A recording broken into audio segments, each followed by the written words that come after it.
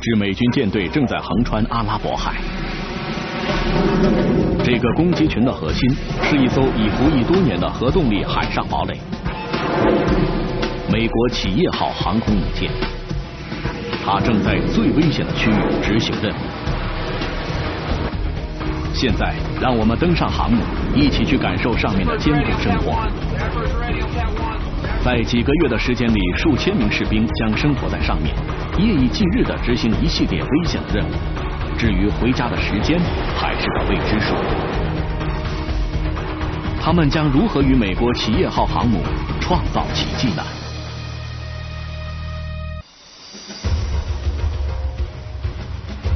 企业号航母就像一座水上城市，里面有两千一百名男女居民。在将近七个月的时间里，这些居民将并肩作战。图像很清晰。海军二幺幺战斗攻击机中队的飞行员集中到待命室，听取任务说明。梅根是其中的一名飞行员。我从小就跟着父亲开飞机。从美国后备军官训练队毕业后，在选择海军中的具体服务部门时，我选择了海军航空兵部队。这份差事对我来说很够味儿。这是梅根第一次执行作战任务。一想到要去执行任务，我就激动的不行，因为不知道等待自己的会是什么。二十九岁的梅根坐进了驾驶舱。他的飞机是一架性能卓越的战斗机，造价九千五百万美元。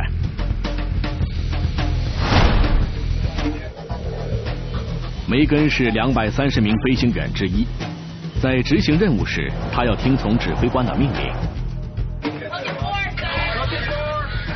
赖曼肖夫担任此次任务的指挥官。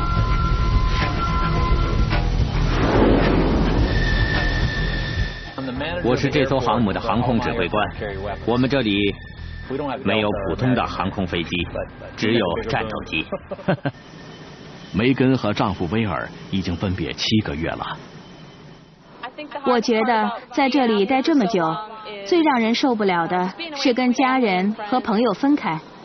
嗯，这样会错过很多事情。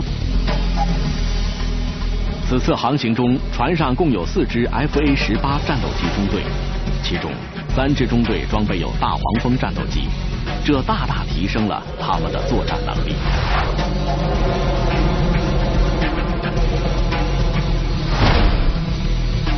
第四支战斗机中队将军中队驾驶的是超级大黄蜂战斗机。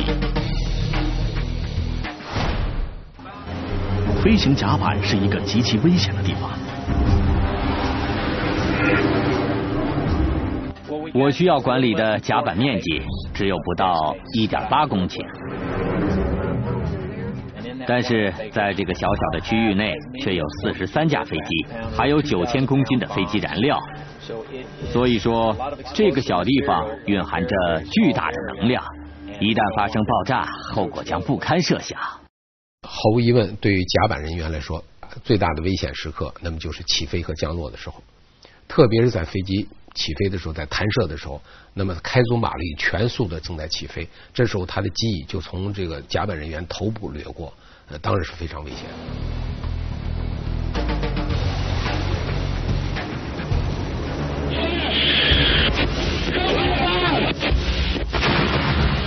因此，不管是白天还是黑夜，飞机坠毁时有发生。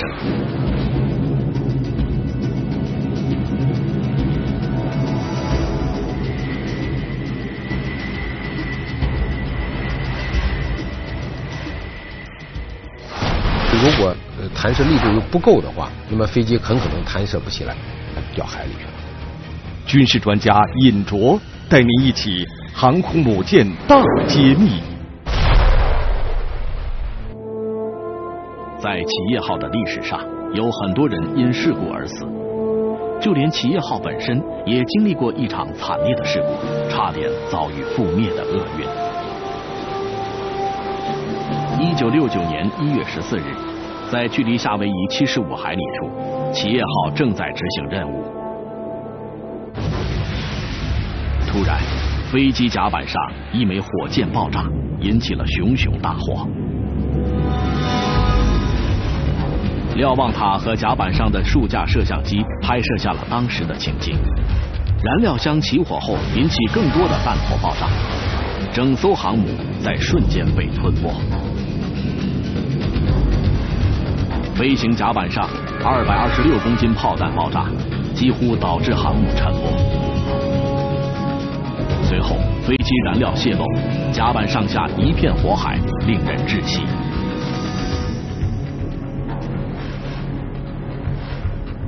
仅仅二十分钟，就有三百四十名士兵受伤，其中大多数都是消防人员。此外，还有二十八人遇难。如今，这次事故经常会被用来教育新兵，但很快，企业号就再次披挂上阵。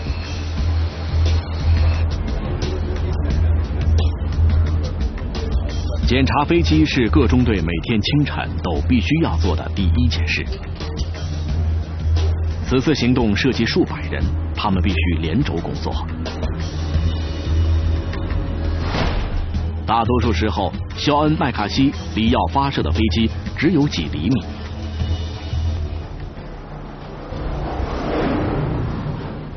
我特别喜欢喷气机朝脸上喷气的感觉，更喜欢喷气机上升时喷出的烟雾气味。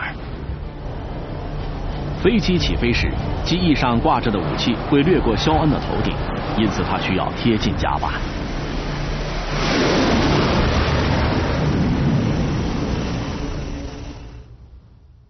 每次一想到我们从事的工作跟其他人相比是多么的危险，我就会感到由衷的自豪。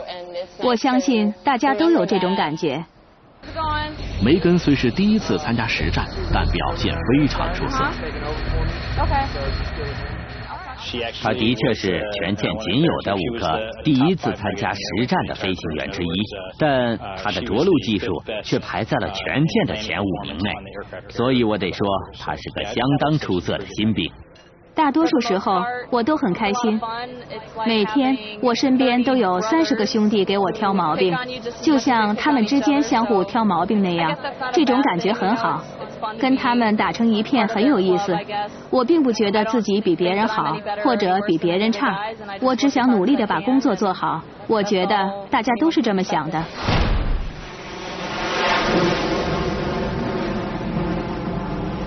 二零零一年下半年和二零零三年三月，海军航母战斗群支援了美军在局部战争中的地面部队。之后任务接连不断。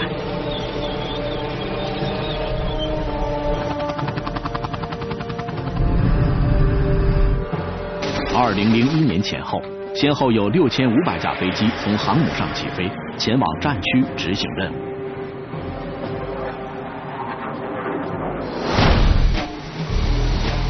航母上的发射器日夜不停的工作着，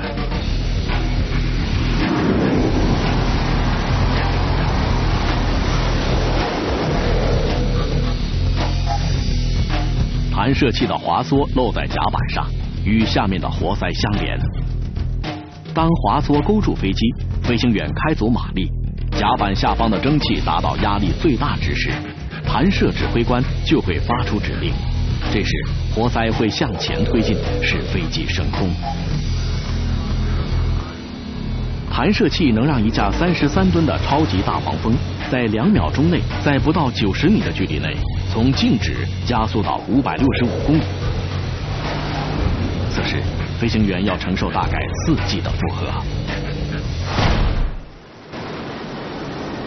飞机的每一次发射都需要三名工作人员进行数据计算。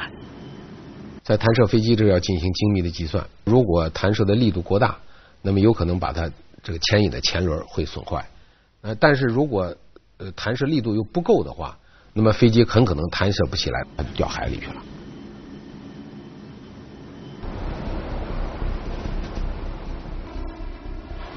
每次起飞的时候，我都会感到一阵眩晕，呼吸困难，速度快的简直让你无法想象。后背会紧贴座位。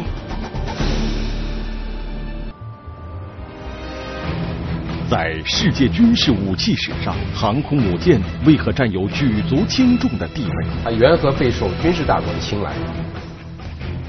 这座令人生畏的海上堡垒配备哪些先进战机和强大武器？这里会有怎样优秀的飞行员？执行任务期间，航母兵有着哪些鲜为人知的情感体验？航母为何又被称作最危险的场所？深度解读，层层解密，军事专家尹卓带您一起航空母舰大揭秘。二零零一年，在最开始的六个星期里，每一天，梅根、他的上司以及其他空军飞行员都在执行战斗任务。从海洋到山区，他们飞行了一千多公里。时间每过一分钟，他们的危险就增加一分。意识到自己是真真切切的处在敌人的领地上，而不是玩游戏，我的精神就会高度集中。我会一直告诫自己，千万不要出错，千万不要出错。有时候我也会祷告，当需要空中加油机时。他就会出现在我身边，否则我可能就得选择跳伞了。毕竟，在执行任务时出现油箱没油的情况，不会是件开心的事情。战场上空到处都是盘旋的战斗机，在接到进攻命令前，他们会一直保持这种状态。但在敌人的领地不停的盘旋，绝不是一件好事情。受到威胁后，飞行员会极度紧张，这往往会造成操作失误。特别是当他们正在执行近距离空中支援任务时，任何错误的后果都将不堪设想。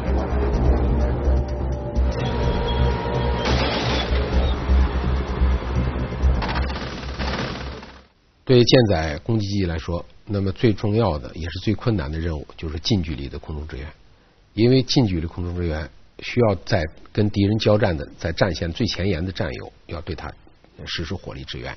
这时候呢，对航母舰载机飞行员的技术和他的心理素质要求都非常高。根据驾驶舱拍摄到的视频，我们可以看出大黄蜂的威力。无数的军事建筑、工业建筑以及民房在瞬间被夷为平地。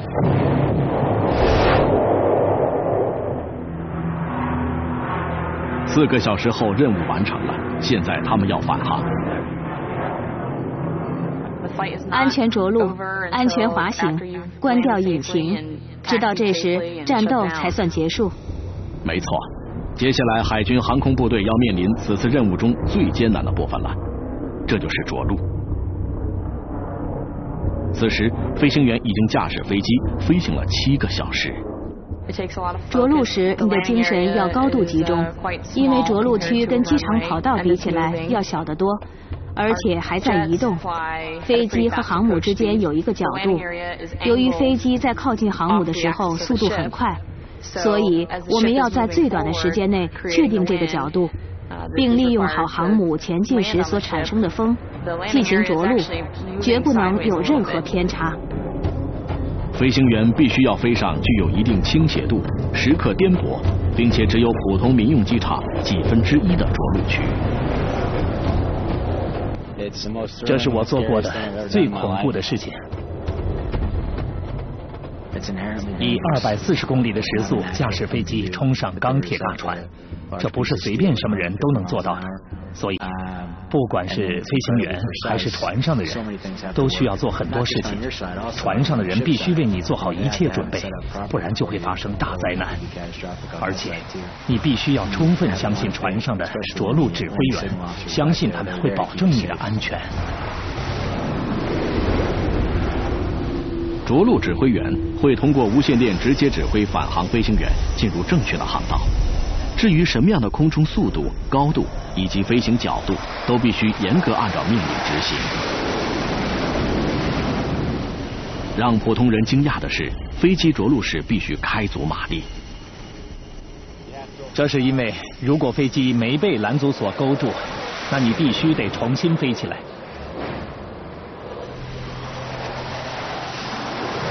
如果甲板上的四根拦阻索都没有勾住飞机，那指挥官就会示意重来。由于飞机没有减速，所以重新飞起来很容易。如果不开足马力，就会有致命的危险。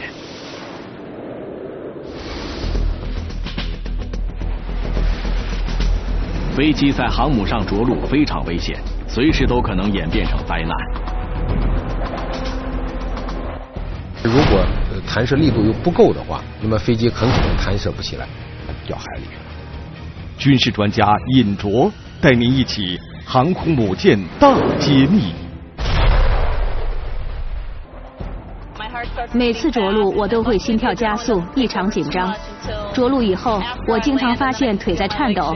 晚上着陆尤其如此，我觉得说不上松了很大一口气，因为每天我们还要重复同样的事情。通常我只是感觉累了，需要休息一下，养足精神，明天继续作战。不管是老兵还是新手，长时间离家在外，心里都不好过。我很想念我的女朋友，还有家人和朋友。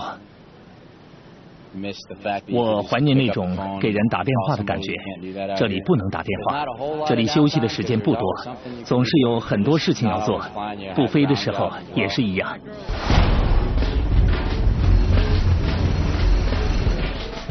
在海上的七个月里，航母上的士兵需要进餐三百万人次，消耗十三万升牛奶。当你每天做着同一件事时，时间就会变得很漫长。就像跟家人相处一样，有时候你也会跟战友生气，但是第二天大家又和好如初。在这里，你等于是把生命交给了别人，你出了事，别人会救你。老实说，我们这里就是个小社会，要想天下太平是不可能的。有时候会有人吵架，有时候我会垂头丧气，不想和别人说话。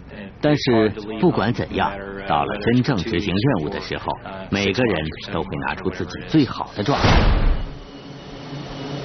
今天对于航母上的所有士兵来说是个特别的日子，因为任务已经完成，他们可以回家了。很激动，出来太久了。我今天是笑醒的，能回家，我特别的开心。回去不知道会有什么事，但我很激动。回家喽！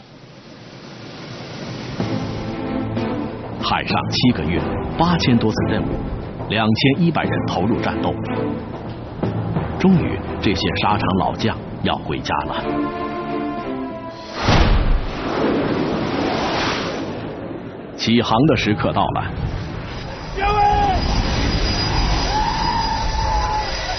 今天是这次航行最后一天的飞行，弹射指挥官穿上长袍，表示庆贺。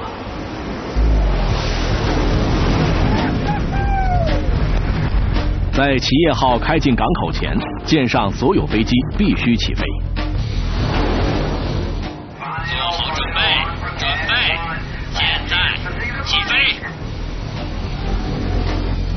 再过一天，航母就要抵达诺福克了。在这之前，空军要全部返回基地。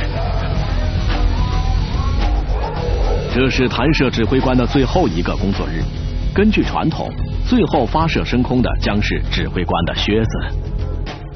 经过这么长的时间，靴子在甲板上已经磨损的很厉害。离开的时候不带走也没有什么可惜的，所以。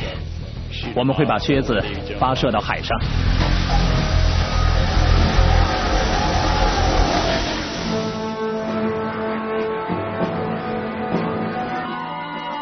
第二天，码头上聚集了大约一万人，他们在各自等待着亲人和爱人。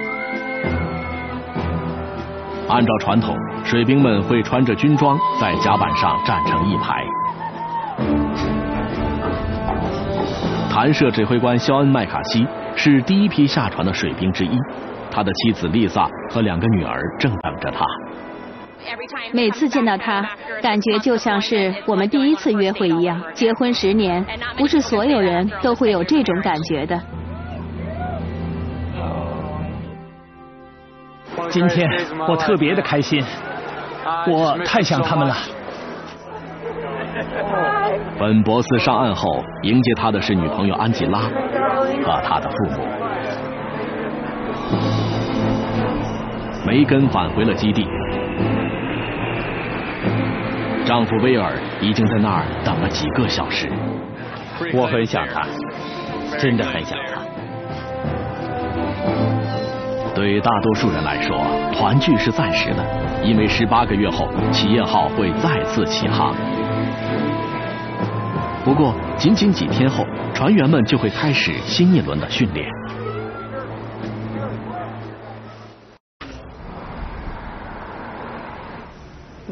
我们又要出去执行任务了，心里很失落。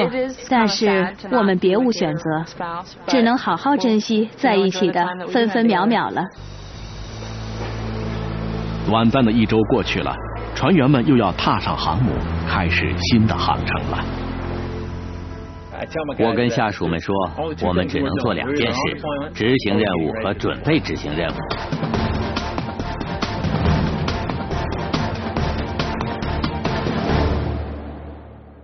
用澎湃的军营激情浇灌一个清凉夏日，用一部部精彩大戏为你烹饪暑期餐点。